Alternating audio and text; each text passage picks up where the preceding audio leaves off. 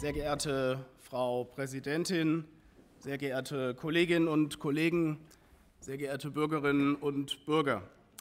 Der traurige Ausgangspunkt der heutigen Debatte, die Bilder, die wir alle vor Augen haben aus den vergangenen Wochen seit dem 7. Oktober, sind die Bilder von Demonstrationen und Aufzügen mitten in Deutschland, mitten in unserem Land, mitten im Land, von dem die Shoah ausging, in denen das Existenzrecht Israels in Frage gestellt wurde, massenhaft, in denen der Holocaust geleugnet wurde und in denen offen antisemitisch propagiert worden ist. Die Bilder, die wir alle vor Augen haben, haben leider uns noch einmal gezeigt, nicht so, dass man das vorher nicht schon gewusst hätte, aber noch einmal gezeigt, dass zu dem schäbigen, dem verbrecherischen, dem fürchterlichen Antisemitismus, die es in diesem Land schon immer gab, von rechts und wir haben es gesehen, auch von ganz links, ein Antisemitismus hinzugetreten ist, dessen Quantität durch die Migration der vergangenen Jahre leider zugenommen hat.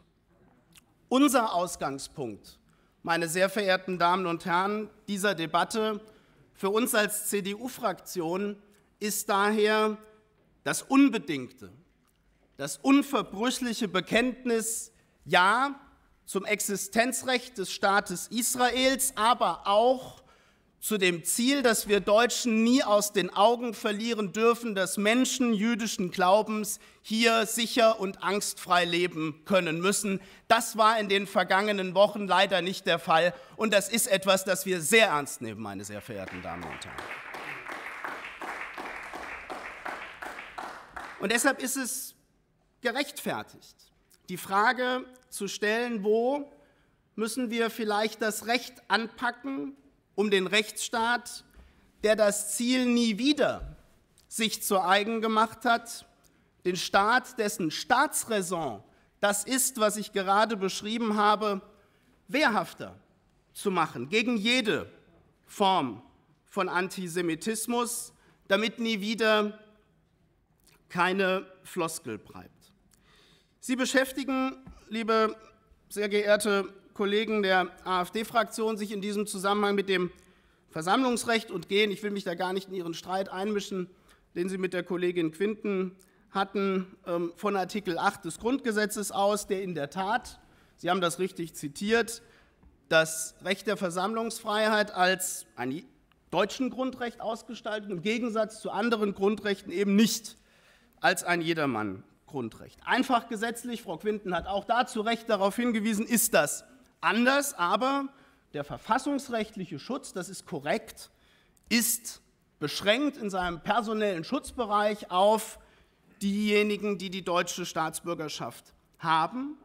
Und im Hinblick auf das, was sich der Parlamentarische Rat, die Väter und Mütter des Grundgesetzes und ja im Übrigen auch die Parlamente seitdem, denn liebe Frau Quinten, ich habe Ihre Anträge zur Änderung der Landesverfassung auch noch nicht zur Kenntnis genommen, dass wir das ausdehnen müssten. Ich will das aber auch gar nicht kritisieren, weil ich die Verfassungsrechtslage, so wie sie heute ist, nach wie vor für richtig halte. Die Versammlungsfreiheit ist in ihrem sachlichen Schutzbereich, auch in ihrer Begründung sozusagen, sehr nah verwandt mit der demokratischen Teilhabe, mit der Ausübung sozusagen der Staatsgewalt durch das Staatsvolk in Wahlen und Abstimmungen. Sie haben das zu Recht auch beschrieben. Das Staatsvolk, das sind diejenigen, die die deutsche Staatsbürgerschaft haben. Und deshalb macht es aus der Genese der Versammlungsfreiheit auch vollkommen Sinn, den verfassungsrechtlichen Schutz auf die Inhaber des, der deutschen Staatsbürgerschaft zu begrenzen. Klar ist aber auch, und auch darauf ist, glaube ich, hingewiesen worden, und auch das ist richtig und muss betrachtet werden, wenn man einen solchen Gesetzentwurf vorlegt, dass eben nicht nur einfach gesetzlich geschützt, sondern darüber hinaus durch das Primärrecht der Europäischen Union mittels der Unionsbürgerschaft auch alle Staatsbürger der Mitgliedstaaten der Europäischen Union hier in Deutschland aufgrund des Diskriminierungsverbots aus, dem, dem, aus den europäischen Verträgen das gleiche Schutzniveau genießen, den gleichen Schutz haben, den gleichen verfassungsrechtlichen Schutz, wie es Artikel 8 vermittelt und das ist auch sinnvoll. Denn die Unionsbürgerschaft vermittelt ja auch zum Beispiel das Recht, an Wahlen und Abstimmungen auf der kommunalen Ebene teilzunehmen. Dann ist auch logisch, dass die Versammlungsfreiheit eben auf diese auch ausgedehnt wird. Anders ist es, das ist richtig, für Nicht-EU-Ausländer, aber, sehr geehrter Herr Schaufert, in Bezug auf EU-Bürger ist jedenfalls der Wortlaut Ihres Vorschlags, wie ihn heute vorstellen, nicht europarechtskonform.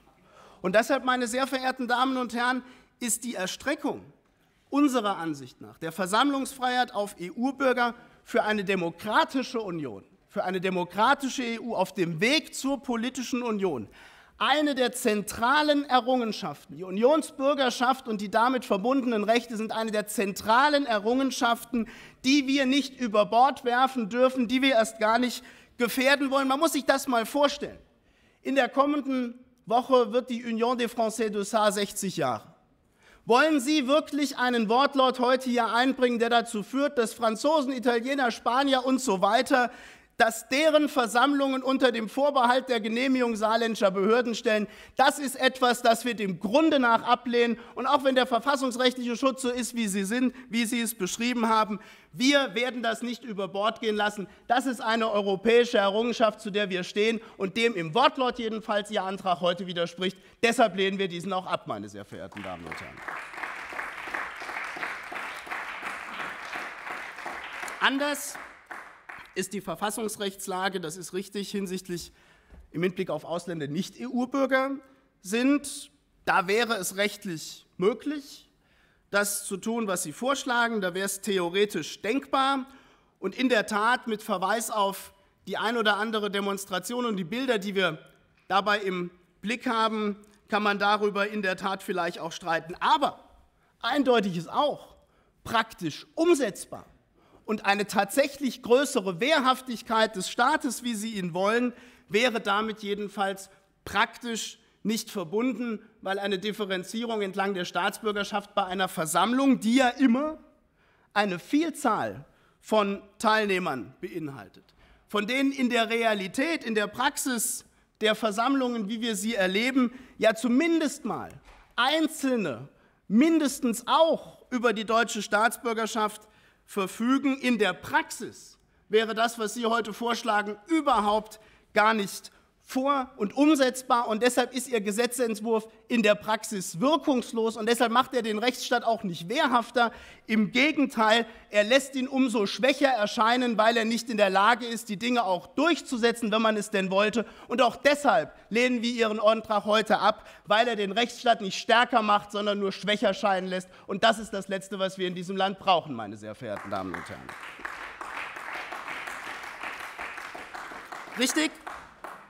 Ist aber auch, dass wir uns alle zusammen, und ich möchte die Gelegenheit nutzen, um nur einzelne Hinweise dazu zu geben, die Frage stellen müssen, wo können wir unseren Rechtsstaat wehrhafter machen gegen seine Feinde. Wehrhafter machen gegen diejenigen, die dafür sorgen, dass Menschen jüdischen Glaubens sich wieder die Frage stellen, ob man hier angstfrei und sicher leben kann. Diejenigen, die das aus einem rechtsextremistischen Gedankengut tun, diejenigen, die das aus einem postkolonial linksextremistischen Gedankengut tun und eben auch diejenigen, die das aus einem religiös-fanatischen Gedankengut herausmachen. Und ja, ich glaube jedenfalls fest daran, dass es hier in Deutschland diesbezüglich Nachholbedarf gibt, damit die Staatsräson, die ich eben beschrieben habe, keine Floskel bleibt, damit nie wieder tatsächlich auch jetzt bedeutet. Und ich will Ihnen nur ein paar Punkte nennen, an denen ich glaube, wo wir wirklich besser werden können. Das beginnt zum Beispiel mit der Prävention von Extremismus, egal welcher Couleur, und auch mit der Demokratieförderung in unserem Land. Neulich hat das Bundesfamilienministerium im Hinblick auf die Extremismusprävention verkündet, dass von den ungefähr 700 Projekten, die in diesem Zusammenhang gefördert werden, gerade einmal zwölf versuchen dafür zu sorgen, dass Menschen muslimischen Glaubens nicht antisemitischen Vorstellungen anhängen. Zwölf von 700. Und das Zweite, was wir im Bereich der Prävention besser und mehr machen müssen, ist, dass wir uns als Rechtsstaat stärker und eindeutiger positionieren.